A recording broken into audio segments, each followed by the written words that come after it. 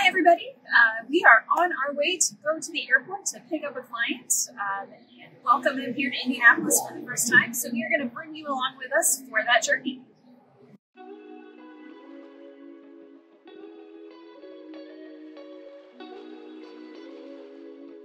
Exodus meets all of our clients for the first time at the airport.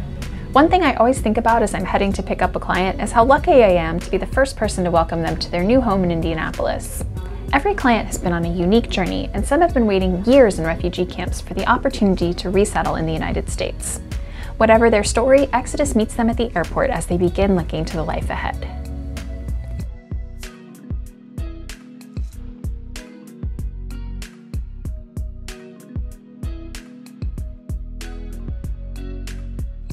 Pulling up to the airport, we park in the short-term lot so that we can head inside and be waiting to meet our client right outside the concourse.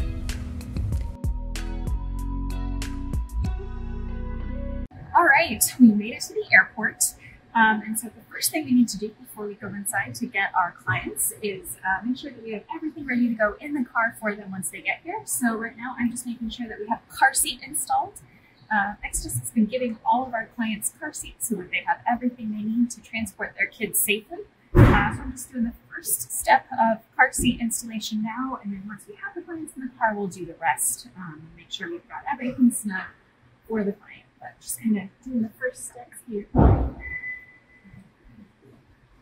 right, that hooked in now. The other thing I like to mention is we have winter coats with us for every member of the family. Um, Exodus always makes sure that we give a winter coat to every member of the family, no matter what time of year they arrive, because you never know when Indiana is going to get cold for the first time. So we've got our winter coats in the car ready to go as well.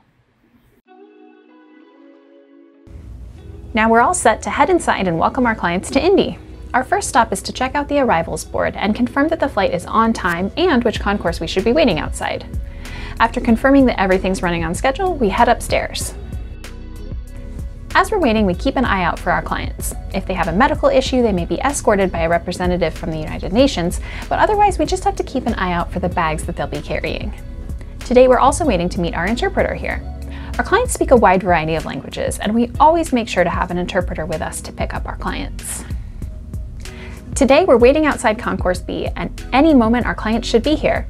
Out of respect for our clients, we're not showing them on camera because that would be really overwhelming to be asked to be on camera just as you've arrived and come off a plane with no warning. Heading down to baggage claim, it's a good reminder that every person gets one bag to bring with them with their belongings from home. One suitcase can't fit everything you have at home. We did another video all about how hard it can be to choose what you would think to bring with you, so please feel free to check that out and think about what you would bring with you if you had to flee your home.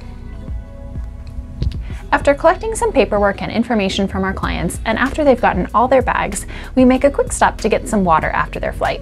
And right now, the airport has free water machines right inside the parking garage. As soon as we get everyone into the car and kids strapped into their car seats, we take our clients straight to their new homes. Sometimes we have to take clients to a hotel or an Airbnb depending on rental availability, but we always try to have our clients' new home ready for them when they arrive. Part of welcoming clients to their new home is making sure they have about two weeks of groceries already in their kitchen so they don't have to worry about going shopping for a while. Another part is going over some essentials like how the oven and stove work, making sure they know how to use the shower, the thermostat, the garbage disposal, and any other items in their home that they may not have been used to. Another thing we do is make sure that every client has a welcome meal delivered to them so they can just enjoy their first night with some familiar food and everything set up for them in their new home. And here's a final few shots of the kitchen.